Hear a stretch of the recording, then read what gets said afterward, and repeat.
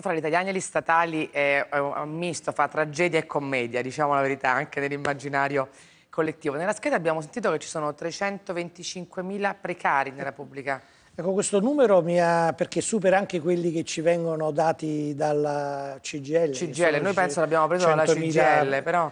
Che, che sono 100.000 precari. Il problema eh, perché è difficile anche avere il numero e noi abbiamo avviato un monitoraggio, perché per precari si intende di tutto. E I precari sono nel settore della ricerca, sono i medici a contratto, eh, nelle ASL, nelle regioni, eh, i precari sono persone che hanno dei contratti a termine. E ne cioè, presento una, la, la... in carne d'ossa, Federica? Ciao Federica. Yeah. Sono ancora traumatizzata dalla scheda. Sì, sì è veramente. io, io, mi auguro che il nostro ministro, perché insomma in quanto precaria della pubblica amministrazione... Digli cosa fai, partiamo da quello.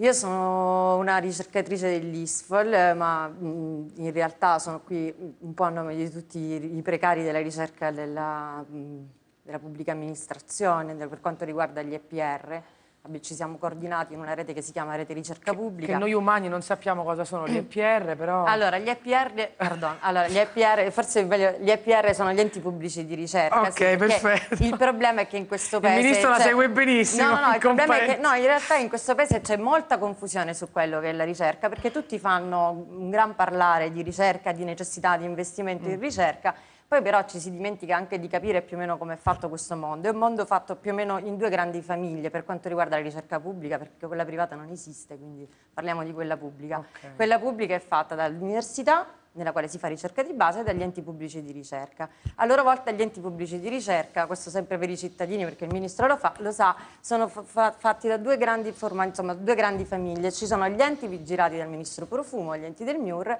e poi ci sono tutti gli altri enti vigilati da tutti gli altri ministeri c'è il mio istituto, l'ISFOL, che è vigilato dal Ministero del Lavoro, c'è l'Istituto Superiore di Sanità, vigilato dal Ministero della Salute, okay. per capirci. Allora, veniamo all'ISFOL. Sì. Dentro l'ISFOL ci lavorano delle persone degli statali normali, a tempo indeterminato, con le garanzie, sì. e poi dei precari. Assolutamente. Allora, nell'ISFOL, come in quasi tutti gli enti di ricerca, siamo nella media del 40%, cioè i precari della so... ricerca nella pubblica amministrazione, negli EPR, quindi negli enti pubblici di ricerca, sono, sono il 40%, 40 okay. del totale E tu qual è la, la, domanda che vuoi fare al Ministro Patroni Griffi? No, vorrei, cioè, siamo un attimino in difficoltà perché a maggio il Ministro ha firmato un protocollo di intesa con regioni e parti sociali, eh, il 3 di maggio ha firmato un protocollo di intesa nel quale in qualche modo si affrontava anche un percorso, comunque si iniziava un percorso, un tavolo, nel quale si sarebbe affrontato il tema della precarietà. E c'erano tre settori che erano stati individuati come dei settori molto a rischio e molto seri in cui intervenire in termini di precarietà, che sono l'istruzione, la ricerca e l'assistenza sanitaria, perché sono i tre settori nei quali per servizi indiretti o diretti al cittadino comunque la precarietà è arrivata a livelli talmente tanto importanti che siamo al collasso okay. nell'eventualità in cui questa cosa non si affronti. Il e problema qual è? qual è? Che il Ministro ci ha assolutamente mollato. Il tavolo è stato praticamente chiuso, si può dire perché li ha convocati una o due volte al massimo, immagino. I precari? E il tavolo, no, il tavolo. le parti sociali, il tavolo okay. con cui si sarebbe affrontato il tema dei precari anche nella ricerca mandandoci alla spending review come se fossimo pubblica amministrazione to cure. Cioè io capisco che l'immagine, eh, la più grande operazione di marketing del precedente governo, che speravo fosse finita con questo governo, era questa immagine del, del mm, del dipendente pubblico fannullone. No, le, è su quella immagine che si è, si è costruita allora, l'idea... riassumere, allora, allora, ci dice Federica, noi siamo stati de definiti fannulloni come i nostri colleghi che hanno il posto fisso e in più non abbiamo il posto no, fisso, non come ci mandate a casa, no. no ma insomma, nel senso dell'immaginario collettivo, ci mandate a casa, non abbiamo garanzie e siamo percepiti da tutti invece come il classico statale. Che si può fare per tanti giovani ragazzi come Federica? Dunque, il problema dei precari, come ho già avuto modo di dire, è il problema vero che noi abbiamo perché è il più urgente ed è il più complicato da risolvere. Io ho detto subito che se dicessi risolviamo il problema dei precari, lo potrei dire tanto tra quattro mesi, cinque mesi torno a fare quello che facevo e quindi posare il problema di chi ci segue. E, ma questo evidentemente non è possibile. Noi abbiamo avuto delle sacche di precarietà che si sono formate nel corso di decenni e da questo punto di vista pensare che noi lo risolviamo oggi da soli mi sembrerebbe miracolistico. Dobbiamo cercare di affrontare i vari problemi. Il tavolo è stato ripreso e ora faremo anche una direttiva, eh, eh, farò anche una direttiva che abbiamo già mandato a regioni ed enti locali per avere un accordo quadro in sede ARAN in modo da consentire, come già prevede la riforma Fornero, del, una disciplina diversa per alcuni settori su due punti molto importanti la possibilità di rinnovare sì, non contratti... parlatevi ad acronimi lei no. e Federica perché c'è tutto poi il resto del mondo so, che All'ARAN è l'agenzia di parte pubblica eh, la quale agenzia di parte pubblica ha il compito di fare con i sindacati o i veri e propri contratti o degli accordi quadro in certe materie di tipo, come si dice, ordinamentale.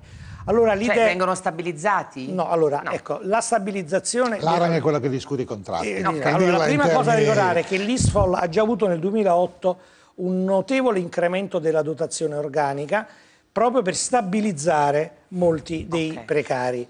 Ora, evidentemente, questa è una tecnica che è stata fatta per decenni e questi sono i risultati. Noi non abbiamo anche... più avanti. Quali sono i risultati, Ministro? Mi scusi, Che abbiamo posso? tanti precari, posso? ne abbiamo di... No, no allora, no, io, il mio sì. punto è questo, sì. allora, perché se lei viene qui a dirci oggi che non ci sono soldi per stabilizzare i precari, io me lo aspetto. Il tema però, secondo me, è un tema politico più importante, cioè la ricerca è la cosa su cui teoricamente tutti quanti diciamo che è il punto di investimento certo, di un paese, cioè, certo. cioè i dati dimostrano che i privati Va che bene. non investono in ricerca... Allora, se sulla ricerca, la ricerca è un dato da tagliare, è una voce di bilancio da tagliare, ce lo diciamo e lo diciamo anche al paese, che perché stiamo tagliando, lei con la spending review ha permesso che ci tagliassero dotazioni Allora io organiche. solo un minuto, quindi, quindi... Darei, farei rispondere. Allora, si sicuramente c'è un problema di spending review, è, è ovvio che ci sono dei settori che vanno tagliati di meno e dei settori che possono essere tagliati di più, ma la situazione che noi abbiamo oggi richiede sicuramente dei tagli anche su settori eh, strategici, dire, strategici. importanti come Probabilmente in quei settori bisogna tagliare meno e bisogna riorganizzare le, ris le risorse per, produrre, per, far produrre il più possibile.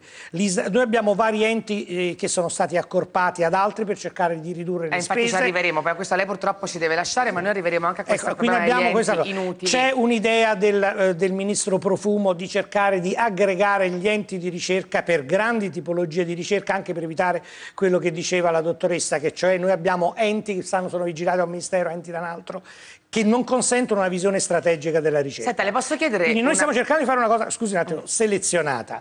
Stiamo anche cercando di risolvere il problema concreto, stiamo vedendo per esempio per i precari scadenza al 2012 con questo accordo quadro di cercare di prorogare questi termini, stiamo anche eh, cercando di pensare a dei concorsi speciali per, sì. in cui venga fatto valere il titolo dell'esperienza. Pensare che però noi possiamo d'amblè risolvere un problema decennale sarebbe no ma sarebbe poco serio anche venire a raccontare mi dica una cosa anche tenendo conto che come ha detto prima forse fra sei mesi tornerà a fare il suo mestiere quindi eh. mi dia una risposta proprio sincera sì. 3 milioni e mezzo soldi statali 3-2 cosa ci sì. dobbiamo aspettare nei prossimi anni? Ce ne saranno molti di meno, ci saranno... Cioè, quanti di questi signori non ce li possiamo più permettere allora, in questo eh, nuovo mondo della spending review? Allora, sono 3 milioni e 2, 3 milioni e 3. Per statali intendo tutte le pubbliche amministrazioni, anche locali. Eh, con questa ridefinizione delle dotazioni organiche previste dalla spending noi avremo un taglio del 20% dei dirigenti che sono cresciuti a dismisura e del 10% dell'altro personale, il che non significa che verranno licenziati il 20% dei dirigenti e il 10% del personale. Pre prepensionate? Ci sarà qualche... Facciamo gli esodati del pubblico No, poi. gli esodati non li facciamo nel pubblico perché non c'è proprio, come dire, la materia per eh. poter fare. abbiamo oh, una piccola dose cosiddetta di prepensionamenti, cioè le persone più anziane vanno per due anni soltanto in pensione con i requisiti pre-Fornero mm. e avremo poi della mobilità, cioè una riallocazione del personale con delle compensazioni tra le piante gli statali organiche. a muoversi, questa è una vecchia storia. Ci Dico, ci stanno gli statali a muoversi, questa è una vecchia storia. Vabbè, nel statali... momento in cui scattano degli esuberi non riassorbibili dalla singola amministrazione si dovranno muovere perché è meglio fare mobilità che perdere un posto di lavoro.